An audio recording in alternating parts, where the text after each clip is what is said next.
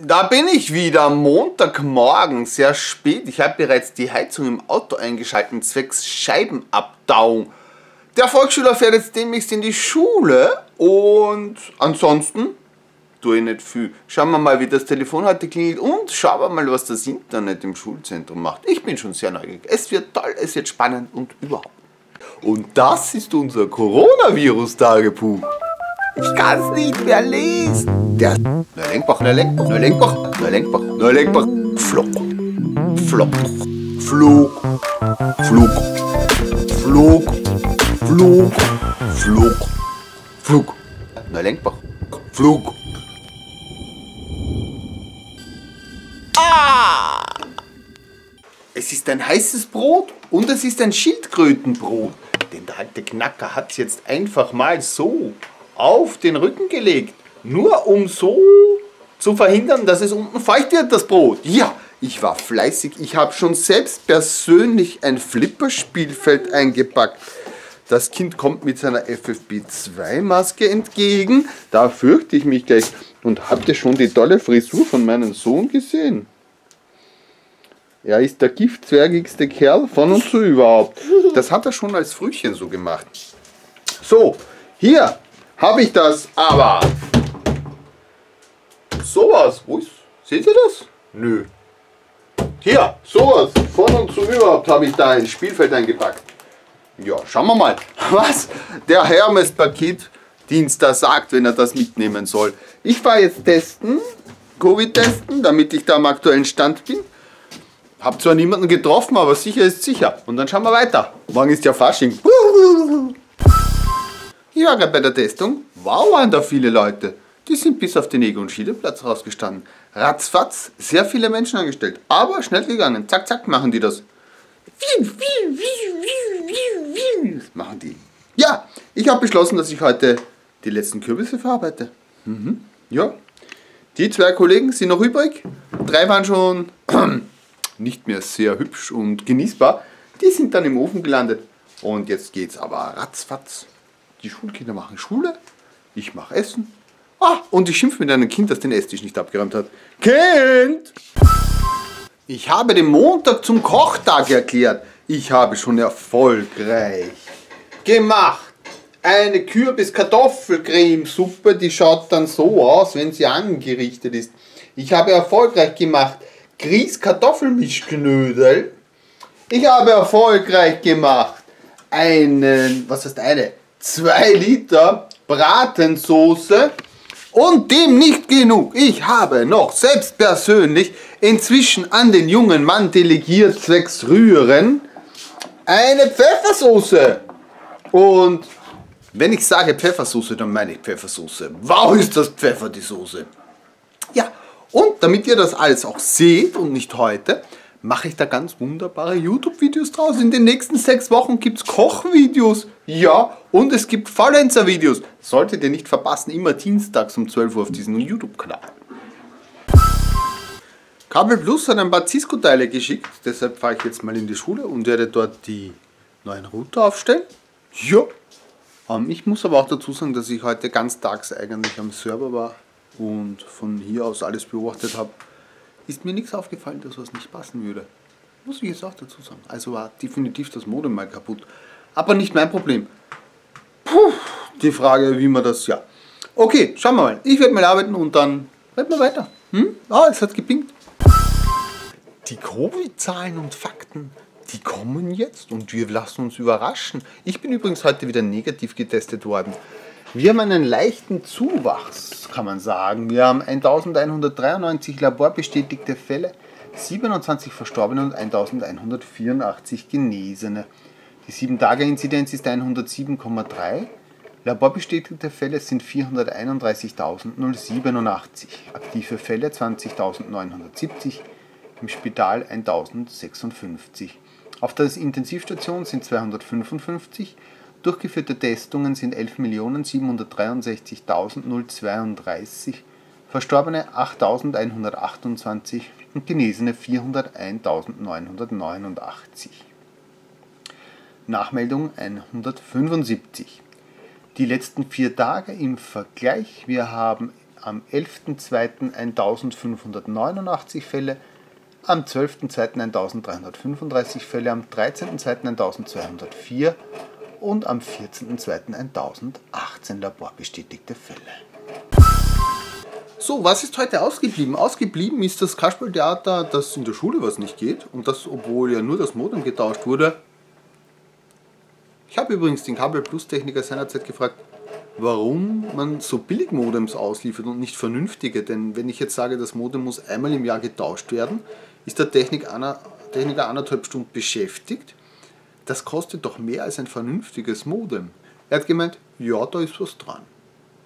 Tja, so ist das ja bei 1 auch. Warum soll es bei Kabel Plus anders sein?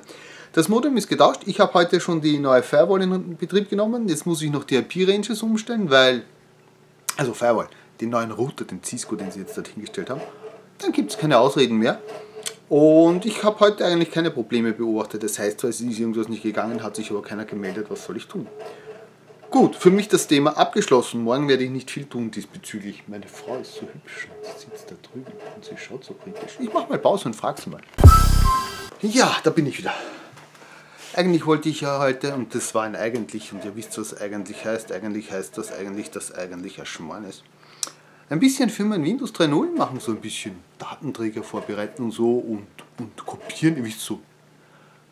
Software auf Tauschordner, von Tauschordner auf Pentium 1, von Pentium 1 mit Leblink auf 286. Ihr kennt euch aus. Ach, das macht Spaß. Da nur daran denken und man lächelt schon. Ist nicht passiert. Es waren halt diverse Computerdinge. Ich habe ja gekocht und die gute Nachricht, ich habe heute Videos produziert. Also nicht produziert, aufgenommen. Und zwar das Video, das ich schon seit über eineinhalb Jahren machen will, von wegen zu faul sein, um aufzustehen, wenn man YouTube schaut. Endlich habe ich es gemacht. Ich hoffe, es ist ein bisschen was geworden. Ich habe zwei, zwei Kameras habe ich. Und zwar mit den CF300. Also nicht mit, heißen die über? XF heißen es, nicht CF. Ich bin schon ganz auf CF. XF300, nicht mit den kleinen. Haha, ich habe aber voll, ich sag's euch. Haha. Ja, apropos, morgen kommt ein ursüßes Video auf den Kanal um 12 Uhr. Hm, morgen um 12 Uhr ein ursüßes Video. Ein Zahnpastenvideo. Schaut euch das an. Das ist super. Schaut euch das an. Ich werde euch morgen nochmal erinnern. Ja, ich habe viel Computerkäse gemacht und dann habe ich ein paar sehr delikate Themen wieder behandelt und diesmal aber erfolgreich zur Abwechslung oder gleich erfolgreich. Und jetzt habe ich gerade wieder ein Notebook bekommen, von dem ich die Daten auslesen soll und auf ein neues Notebook übertragen soll. Die, ja, ja, na, ihr habt es richtig gehört. Ich habe neue Notebooks bekommen. Ja, die, die wo im Mai kommen sollten. Heute, selbst persönlich hereingetragen. Eines schon ausgepackt und angesteckt und Teamviewer ist schon drauf. Oh, ja, ratzfatz ist das gegangen. Jetzt kommt noch die Installation. Dann schieße ich da die Daten rein und der wird dann, schätze ich mal, morgen ausgeliefert werden. So mache ich das. Ähm, eines habe ich in Reserve, als wenn jemand ganz dringend ein gutes, teures Notebook will, ruf mich an. Tja, meine hübsche Frau sitzt da drüben und ist total fertig. Die war jetzt gerade eine halbe Stunde mit den Kindern allein und wow, ist das nervig gerade. Wow, sind die alle fertig. Der Hund denkt sich, Furzi Gaxi. Das denkt sich der Hund. Ja. Der Hund hat heute ganz schlimme Dinge in der Früh gemacht. Wir wollen nicht näher drauf eingehen, oder? Was sollte das schon wieder heißen hier? Ach so, das passt. Ja. Und Kottern kann ich nicht trippen. Keine Ahnung, hört ihr das? Das ist er. Wird nichts. Keine Ahnung. Ja, bin hoch auf. Ich werde heute noch ins Büro gehen. Ich werde heute in den Kuhstall gehen und noch mindestens mindestens ein Word und ein Excel installieren und ich hoffe, mein Sohn wird mir helfen. Hilft er mir? Vor ein paar Wochen war er noch ganz Feuer und Flamme für alte Computer und jetzt ist es. Mein Android kann alles, ist das Motto. Ja. Gibt es sonst noch was zu erzählen? Ja, Kochvideos habe ich gemacht und das Sofa-Video habe ich gemacht. Da bin ich voll begeistert. Das heißt, theoretisch habe ich heute sechs Videos produziert. Also aufgenommen, nicht produziert zu schneiden ist das nicht so lustig. Das ist nicht so locker wie beim Covid-Vlog oder Coronavirus-Tagebuch oder Nalekba-Vlog. Da ist nicht mit einfach Blödsinn reden und Dings, da wird geschnitten und auf die Hundertstel Sekunde genau und mit Farbkorrektur und von und zu überhaupt mache ich da. Puh, ihr habt ja gar keine Ahnung. So richtig professionell, so wie die wie die Profis aus, aus Film und Fernsehen und YouTube. Ja, so mache ich das. Gut, mir geht es nach wie vor miserabel. Miserabel. Ähm, spiegelt sich jetzt schon überall wieder. Also ein Gesamtmiserabel. Morgen ist Faschingsdienstag, habt ihr das gewusst? Ja, da wird's. Wir haben fix vor, Krapfen zu essen. Das ist der große Plan. Werden wir einen Krapfen morgen essen? Da, da ist nicht so, sondern ja, das ist schon besser. Wechselbalg ist weg. Und schauen wir mal. Schauen wir mal. Ja, gedämpft. Wenn, wenn ich gedämpft bin, dann muss auch das wieder gedämpft sein. Aber ich könnte ja wieder positiv werden, wenn ich in den Kuhstall gehe. Wobei im Kuhstall habe ich jetzt das Thema, dass ich ja die Steranlagen so schön aufstapeln will, diese 42 cm Rex. Und jetzt habe ich aber entschieden, dass ich die Schultische rausschmeiße, weil die so hässlich ausschauen, wenn die so hoch oben sind. Und vor allem die Steranlage dann so hoch ist, dass über meinen Lehrbrief drüber steht. Das geht ja nun wirklich nicht, oder? Steranlage kann doch nicht vor meinem Lehrbrief stehen. Ich meine, hallo? Ist unmöglich. Nein, kann man nicht machen.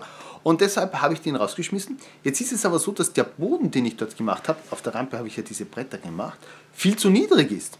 Und wenn ich aber jetzt anfange, den Boden höher zu machen, dann ist er auf derselben Höhe wie die Computer.